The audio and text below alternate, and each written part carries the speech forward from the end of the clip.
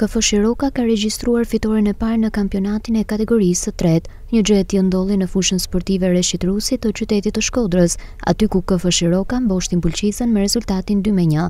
Në fakt ndeshja nuk nisi mirë për KF Shirokën, pasi në minutën e katërt u ndëshkua nga miqtë. Ndërkohë më pas në minutën e tridhjetë e pestë, shirokasit mbetën me një futbollist më pak në fushën e lojës.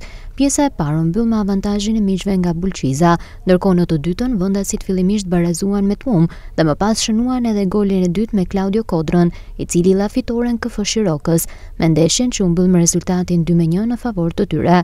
Pas kësaj fitoreje, zëvendës trajneri i KF Shiroka, Valmir Kurti dhe kapiteni Mersian Muliu thanë se janë në rrugë të mbarë për objektivin e tyre që është ngjitja në kategorinë e dytë.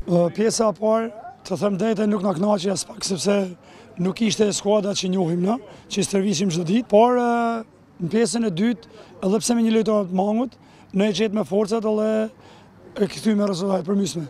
Ekipi jonë ka një rritje, nga ndeshja e parë, në ndeshjen e dytë, pavarësisht një pjese të parë të dobët, por mu më pëlqen grinta e pjesës dytë e lojtarëve që arritën ta përmbysin edhe pse me një lojtar mangut.